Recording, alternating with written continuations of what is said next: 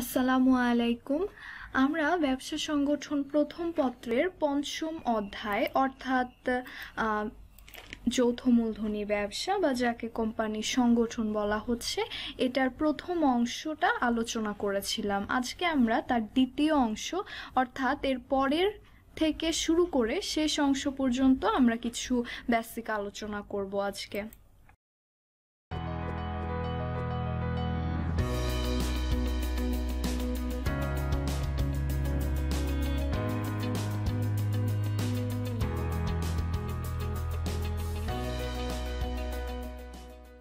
প্রথমেই আসি, যেখানে আমরা শেষ করেছিলাম তারপরে যে কোম্পানির গঠন প্রণালী। কোম্পানির গঠন প্রণালীর তিনটি পর্যায় রয়েছে, যথা এক উদ্যোগ গ্রহণ পর্যায় নিবন্ধন পর্যায় এবং কার্যারম্ভ পর্যায়। কোম্পানি গঠনের এই তিনটি পর্যায়ের মধ্যে প্রথমে যে উদ্যোগ গ্রহণ পর্যায়, সেখানে কোম্পানি যে গঠন করা হবে, সেটা কীভাবে গঠন করা হবে, সেই সমস্ত ধারণা মাথায় নিয়ে, অর্থাৎ একটা পরিকল্পনা করাই হচ্ছে মূলত উদ্যোগ গ্রহণ পর্যায়। এরপরে যদি আসি নিবন্ধন পর্যায় নিবন্ধন পর্যায়ে কোম্পানি গঠনের জন্য নিবন্ধন করতে হয় উনিশশো চুরানব্বই সালের আইন অনুযায়ী। এই যে বিভিন্ন দলিল সংযুক্ত করে কোম্পানিকে নিবন্ধন করাই হচ্ছে নিবন্ধন পর্যায়ের অন্তর্ভুক্ত। নিবন্ধন পর্যায়ে পাওয়ার পরপরই প্রাইভেট লিমিটেড কোম্পানি তার কাজ শুরু করতে পারে, কিন্তু পাবলিক লিমিটেড কোম্পানি কাজ শুরু করতে পারে না। কারণ প্রাইভেট লিমিটেড কোম্পানির কাজ শুরু করার জন্য একটা কার্যারম্ভ পর্যায়ের অপেক্ষা করে।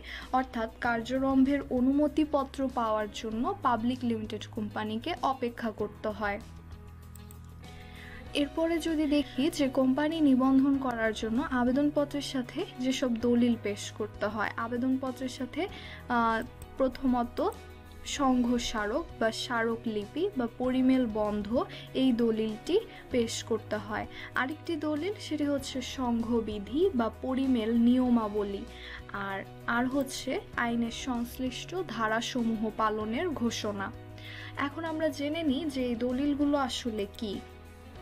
প্রথমে আসি স্মারকলিপি সম- কোম্পানির সবচেয়ে গুরুত্বপূর্ণ দলিল হলো স্মারকলিপি। স্মারকলিপি ছাড়া কোম্পানির সংগঠনকে কল্পনাই করা যায় না। স্মারকলিপিকে কোম্পানির মূল দলিল সনদ বা সংবিধানও বলা হয়। এতে কোম্পানির নাম, ঠিকানা, উদ্দেশ্য, মূলধনের পরিমাণ দায় দায়িত্ব ইত্যাদি বিষয়ের বর্ণনা থাকে। অর্থাৎ কোম্পানি গঠনের প্রাথমিক পর্যায়ে যে সমস্ত নির্দেশনাগুলো থাকে সেই সব কিছুই স্মারক লিপিতে লিপিবদ্ধ করে রাখা হয়। এরপরে আসি পরিমেল নিয়মাবলী। পরিমেল নিয়মাবলী কোম্পানির দ্বিতীয় গুরুত্বপূর্ণ দলিল, অর্থাৎ স্মারকলিপির পরই পরিমেল নিয়মাবলীর অবস্থান। পরিমেল নিয়মাবলীতে কোম্পানির অভ্যন্তরীণ কার্যাবলী পরিচালনা সংক্রান্ত প্রয়োজনীয় সকল বিষয়ের বর্ণনা থাকে।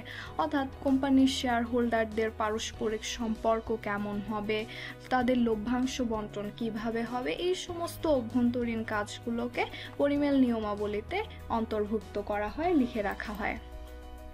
এরপরে আসি শেয়ার মোস্ট ইম্পর্ট্যান্ট কোম্পানি গঠন করতে হলে শেয়ারের প্রয়োজনটা হয়। কিন্তু শেয়ারটা আসলে কি?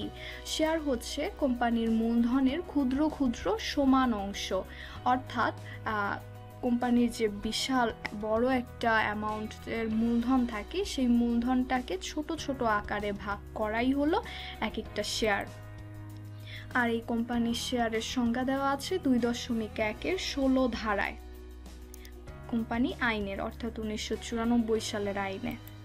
পাবলিক লিমিটেড কোম্পানির শেয়ার অবাধে হস্তান্তরযোগ্য, অর্থাৎ পাবলিক লিমিটেড কোম্পানি যখন তখন এবং যাকে তাকে শেয়ার হস্তান্তর করতে পারে। তবে প্রাইভেট লিমিটেড কোম্পানি তা পারে না, কারণ প্রাইভেট লিমিটেড কোম্পানির শেয়ার নিজেদের মধ্যে শুধুমাত্র হস্তান্তর করা যায়।